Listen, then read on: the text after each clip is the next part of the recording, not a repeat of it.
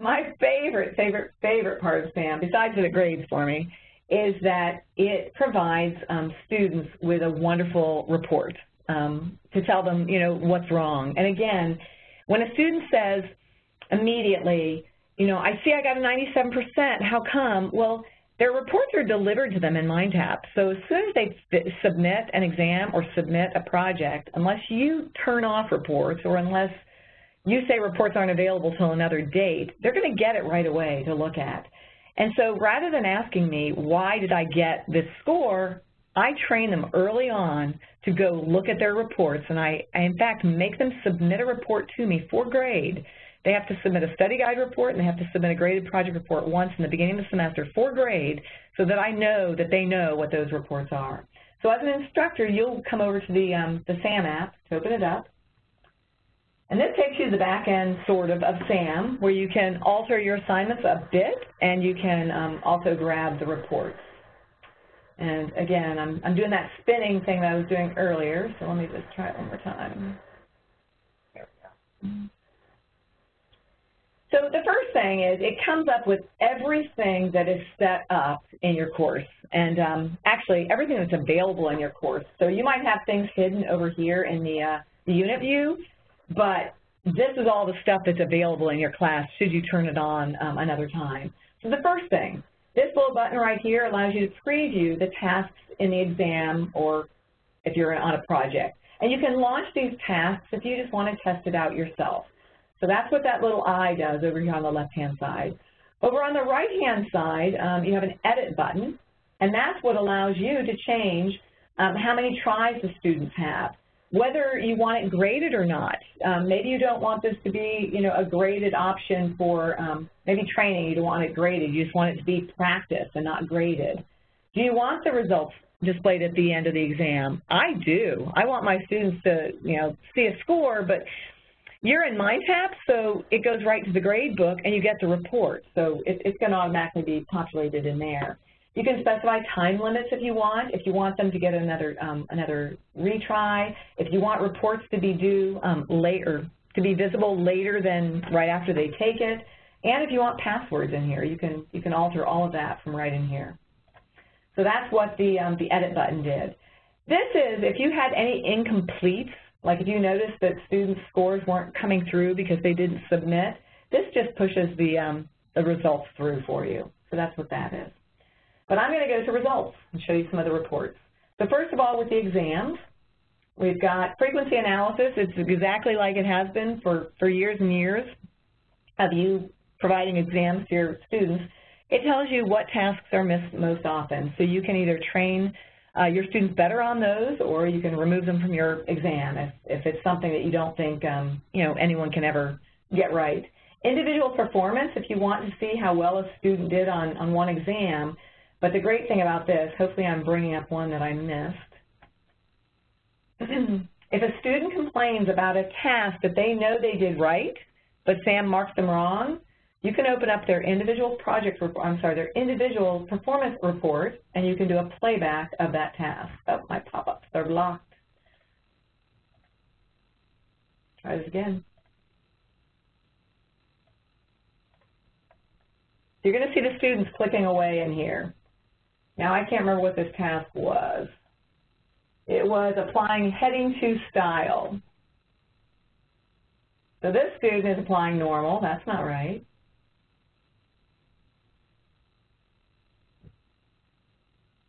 Heading 2, no.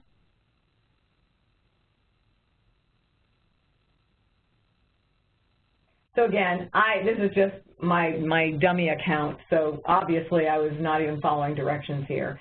But um, I did notice one day a student kept saying that they entered the header, and I could clearly see they were clicking on the footer every time. So this click path is, is a great feature. And I, I only get a handful of students every semester that maybe argue with an exam task, and I go look at the playback. So it's not like I'm in here every day having to do a playback, because this is only available to you, not to the student. Um, that's the individual performance report. We also have section results by exam or section. If you want to do any filtering or sorting um, on your on your assessments, you can do so here with these exams, with these um, reports. You can scroll down and look at one student's results right here, but all of this um, you can get from within your grade book inside MindTap as well. So I don't use a whole lot of these, except what I will do is after a project, I might, um, I might generate a report to see if I've got any project incidents, and I'll show you that one in a second. But you know, maybe looking at um, maybe looking at one of these by by exam to see how many students have done it already. Compare this to maybe what scores are, are populating inside MindTap. I mean, you can do a sort of that here. Um, some people like to do this because you can sort. Yes. Question? Oh, I thought I heard something. But you can sort by, um, by score here, by points, number correct, time spent, so you've got a lot more options within, within these reports if you want to go into the nitty-gritty of them. Um, I can't think of any others in here that I use specifically, so I'm going to move on to projects. Oh, one thing, like, let me point this out. On the individual performance, for instance, um, because I don't have an example of a study guide brought up for you, this is my best way of showing you what a study guide would look like. The students can print out a study guide or view a study guide where it talks about the subject, the activity, the task ID, and this is important. If they're telling you something's not working, they can send that task ID to tech support or to you, and you know you can research it more if you've got that information. Um, the students will also be told if they got a task right or wrong, and then they have a column for remediation back to the ebook, a link that goes back to the ebook, and they've got a link for training if they want to train on any of those missed tasks. So this is kind of similar to what a study guide report would look like for a student, but they've got those extra links. So moving on to project reports. so these are the two I use most often. Um, again, you've got frequency analysis, individual performance, but it doesn't have a click path because they're doing something live in the application. It just shows what their results are on, on something. Um, but down at the very, very bottom is a download submitted project report. Let me show you that one first. You've got a copy of the student's submitted file and a copy of their graded file.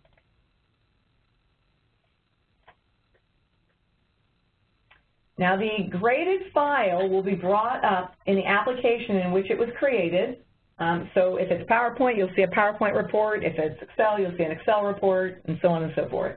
So first of all, it tells you what the student's score is. Oops, I didn't mean to pull up one of with 100, but if I had any wrong, it would have given me a red X, and it would have, um, I could have gotten some um, like partial credit. Maybe I just didn't bold the contents, so maybe I got a zero for that, but I got all the rest of the points, you know, in here. It would give me a red X by anything I got wrong, and of course the green check mark if I got it right.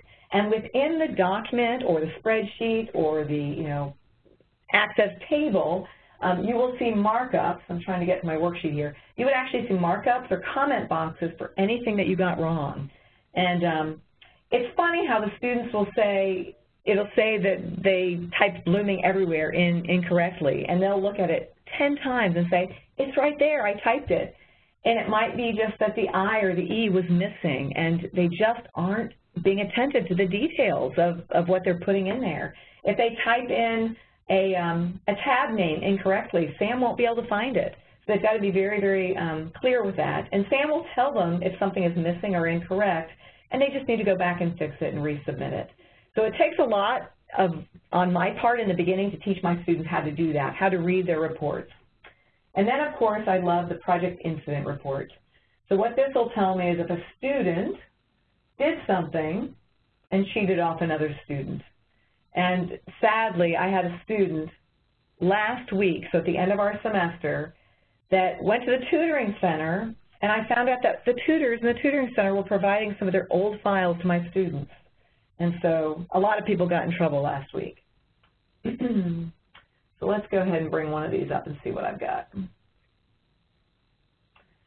Okay, so this is telling me that Jane Smith borrowed John Smith's um, file for this assignment, the Excel Module 1, SAM Project 1. And then here it says John cheated off himself. So the things that you might get are that students didn't use a starting file, they borrowed someone else's file, or maybe they're working on their second or third submission and they're copying and pasting from their own file, or maybe they took it last semester and they're using something from another semester. But um, this is what an incident report would look like. And you can, uh, at the end of every week when I've got assignments due, I go in and look at my incident reports, and I really don't like it when I find cheaters. It's, it just, I don't know, it's so time consuming to have to deal with that, but it sure nips things in the bud quickly.